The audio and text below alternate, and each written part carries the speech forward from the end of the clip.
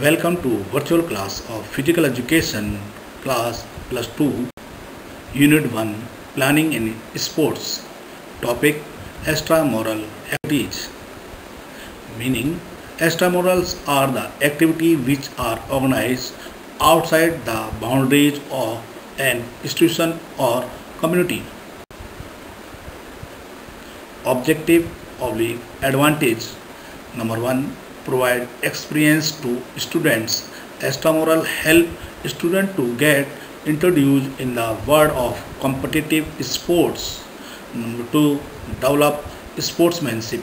Competitions tend to develop the traits of sportsmanship in students.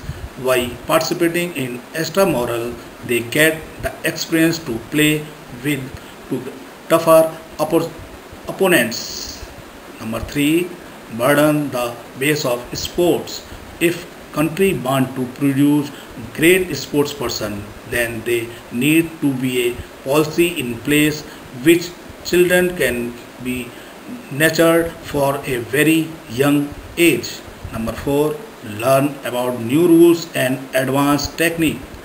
Extramural activities provide additional opportunity for students to learn new skill with the they might not have been previously aware of.